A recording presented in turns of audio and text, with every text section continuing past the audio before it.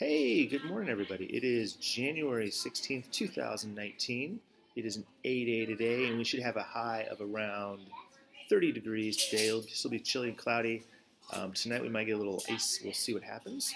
I am actually at Ray Marsh Elementary today. We have our principal meeting here, and my wife actually works here at Ray Marsh. So I got to stop by and say good morning to her and hello.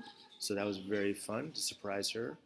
Uh, lunch for today, we are having choice of chicken sandwich, General Tso's chicken with rice, PB&J sandwich with cheese and crackers, yogurt with cheese sticky crackers, served with stir-fried vegetables, fresh broccoli, romaine lettuce, chilled pineapple, fresh fruit, Cheetos, and 100% juice and milk.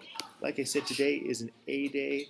Uh, after school today, Miss Mahalik would like to remind you Battle of the Books in the library. so make sure you show up for that. If you're signed up for Battle of the Books.